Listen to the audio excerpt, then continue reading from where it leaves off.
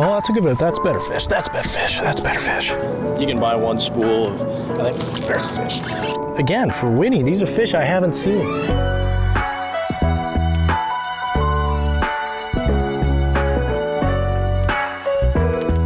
All right, Minnesota fishing opener 2023. We're underway. We're headed north. We're gonna get some things rigged, get some things figured out. Here we go. Happy fishing opener.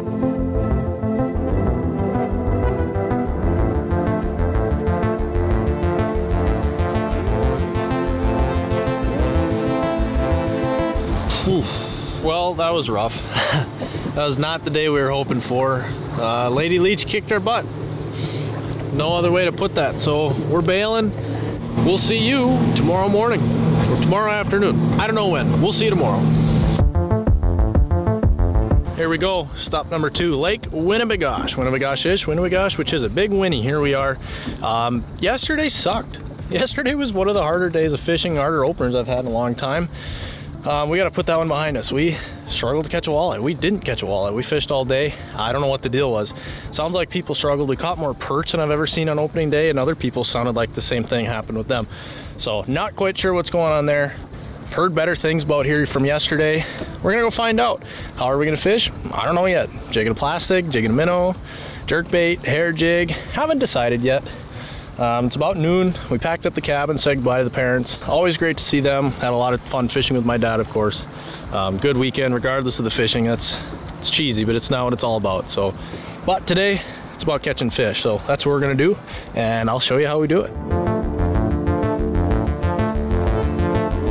I had this on yesterday.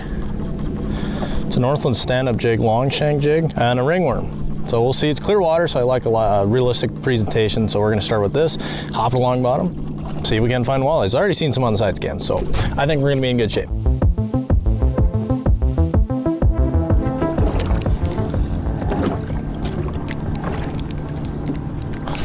There's a fish. Was that like the third cast? Fish on. Pulling a little drag. It's a nice, it's a northern. Ha, dang it. Kind of thought so when I felt it, but. Little Slimer.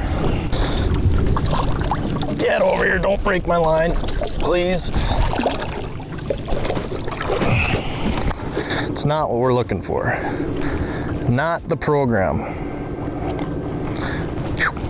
See you later.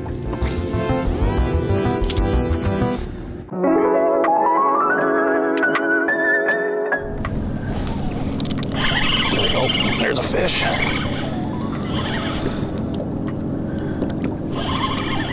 That's what we're looking for. Okay. There we go. Nothing real big, nothing real special. Good eater if you wanted one, but first walleye of the year for us, as sad as that is, but inland season anyways. On the board. Northland stand-up jig, BFishN ringworm. I've loved this combo in Clearwater, early season. It's hopping along bottom. I think it kind of looks like a wounded shiner trying to swim along. I might be wrong, I don't know, but it's worked. I'm not an expert fisherman. I just pretend to be. There we go. Got him. That one thumped it. Looks like another walleye. Swing him in here. Whoops, sorry, buddy. Number two. Again, not very big. Leader, 14 incher. Bigger than what I've seen on this lake in the past. I know there's bigger out here too, but feels good to get thumped again, huh? I was just gonna talk about how uh, all these fish have been, must be hitting it on the drop. I haven't really felt the bite until I go to pick it back up and you feel weight and that's when you can just set into them, know it's there. But that one, that one crushed it. You know, people think walleyes aren't, aren't very aggressive and that's, uh, that's a fish that'll just prove you wrong. You thump that one good and you can get a good hook set into them. And shallow water walleyes always seem to be that way, just a little more aggressive than those ones that are out deep. Even if they're not doing that, if they're hitting it on the drop, you don't have as sensitive of a rod, whatever it might be. Ooh. if you just start to go and make your hop and you feel weight, give it a hook set. As they say, hook sets are free, right? So you have nothing to lose. There's probably gonna be a fish there or it's a rock. So be it. But as I always say, if you pull and the weight pulls back on you, set the hook.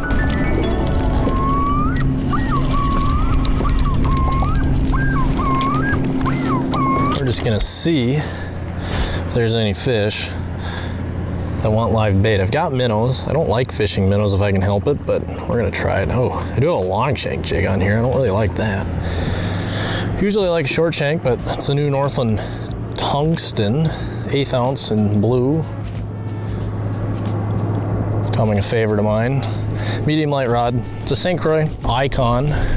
So obviously I'm not gonna pop it off bottom as hard as I do with plastic just because I don't want that minnow to rip off.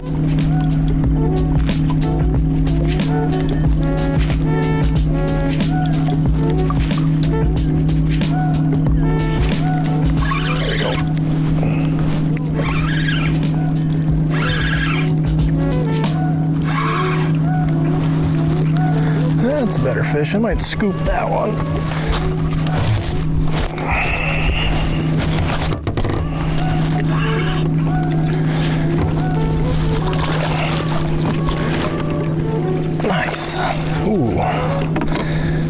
Pop my hook right there.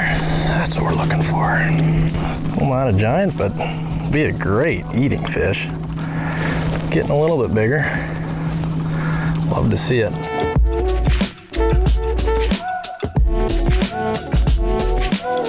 So again, all I got, Northland tungsten jig, eighth ounce, blue, because Clearwater, I like blue, more natural minnow colors. And it's just a fathead. I've got spot tails, but here I think fatheads are working just fine. And I'm just pitching it out away from the boat and just kind of slowly hopping it, kind of dragging it with the minnow. With that plastic, I was a little more aggressive with it, but with the minnow, I keep it a little more gentle. And again, you kind of just pick up on your rod, you feel the rod tip load up, and you set the hook, whack them.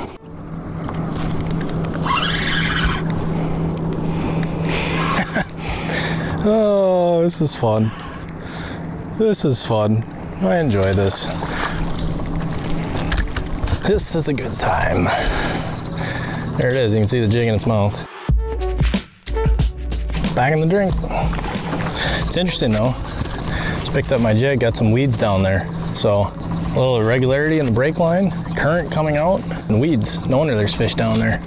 Might be time to move. Find some new fish.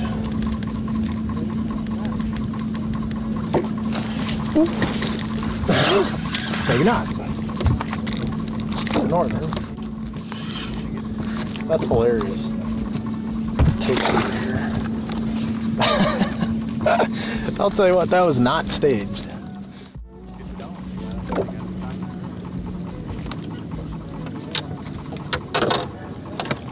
I'm need pliers for this guy.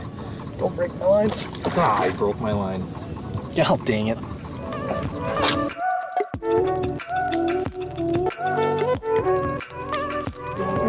Another thing in these clear lakes, zebra mussel lakes, is water. This water clarity is wicked. Winnie isn't so bad as Leech was yesterday, but going with super long leaders. So I, I like braid. It's my main line. I like the sensitivity of it. I like the. Sometimes I like no stretch factor, but if you're gonna do that, you have to, have to, have to go with a leader in this clear water. Otherwise, these fish are gonna pick out your line. They're gonna realize with the gig's up, they're not gonna eat. You'll get a few bites, but your success is going to go way up. I use fluorocarbon. Some guys still use mono. I like fluoro. I know people have said it before, but it's because of it's basically invisible, pretty abrasion resistant. So especially if you're fishing around rocks, if you're fishing with fish like pike, obviously we saw.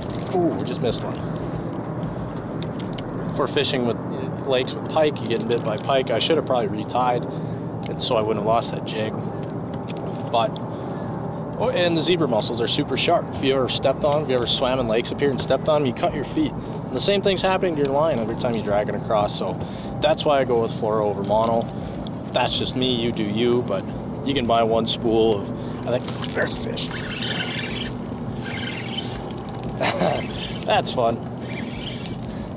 I think I've got Seaguar Red Label. I'm not affiliated with them at all, but that's what I use. There's a little walleye.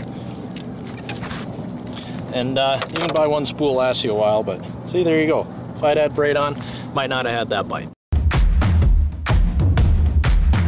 I think it's time to move.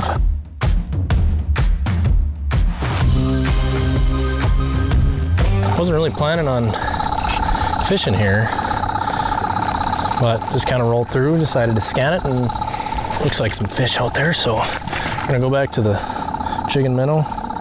She's a little crusty. We'll give her a shot. Try to catch some of these.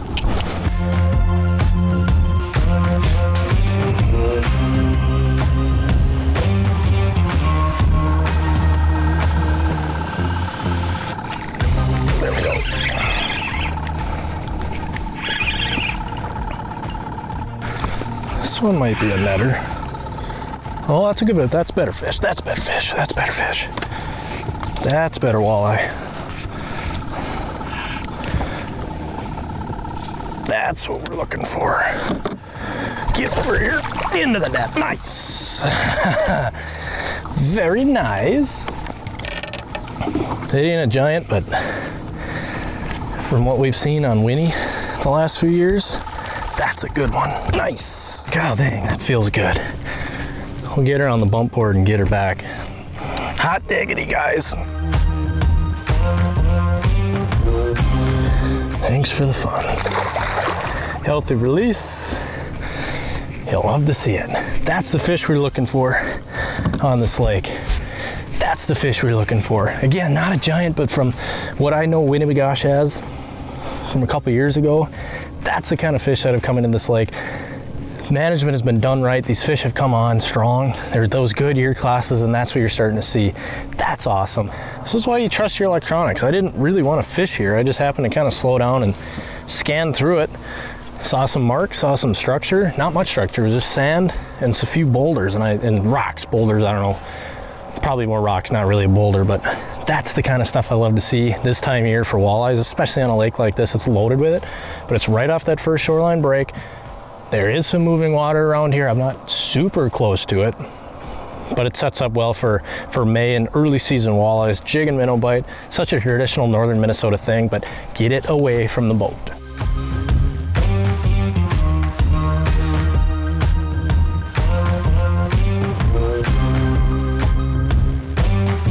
Check this out, guys.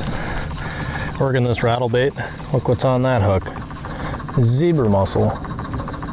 That little guy. It's not only your boats that you have to be careful of and your trailers that you look at, your docks. Check your gear out too. Make sure there's no larva on your whatever. There's a scientific name for zebra mussel larva. On your line, check your hooks, check everything. We don't want to be spreading this stuff. We know it's bad. Lakes like Winnibigosh, Leech are full of them. So we don't want to be taking those other places. So check your stuff.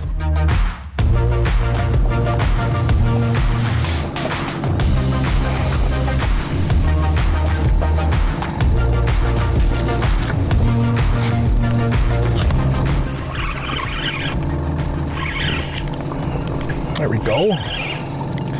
Starting to pick up again. I think it is. We're on 12 feet of water. Yeah, another nice walleye. Get over here. Slid out a little deeper, not much deeper than what we were earlier. Uh, we're gonna we're gonna hit this guy just for fun. He's a little big to swing. It's a nice fish actually. He got a little bigger once he got in the net. This one might be too big, being that 18 to 23. Not that I'm keeping fish anyways, but again, for Winnie, these are fish I haven't seen.